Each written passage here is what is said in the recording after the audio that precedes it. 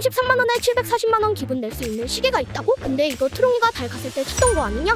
사실 이건 오메가의 문워치 같지만 완전 다른 제품인 스와치에서 나온 시계인데 오메가랑 콜라보 한 거여서 이렇게 스와치 로고랑 오메가 로고가 같이 있음 찐명품 오메가 문워치는 740만원 스와치는 33만원인데 이렇게 급이 다른 두 브랜드가 손잡은 건 스와치랑 오메가가 한 집안이기 때문임 그래서 이 콜라보 덕에 33만원에 740만원 기분을 낼 수 있다는 거임 어쨌든 이 문스와치 하도 인기가 많아지다 보니까 중고시장에서 리셀가가 폭등했다고 하는데 이렇게 33만원이 580만원까지 올랐다고 함. 이 중 지금 제일 인기 많은 게 이건데 반민초파가 극혐해할 만한 색이 왜 인기가 많냐고? 이거는 티파니 컬러라고. 내 여친이 좋아하는 그 티파니 색상의 시계인데. 근데 내가 여친이 있었나?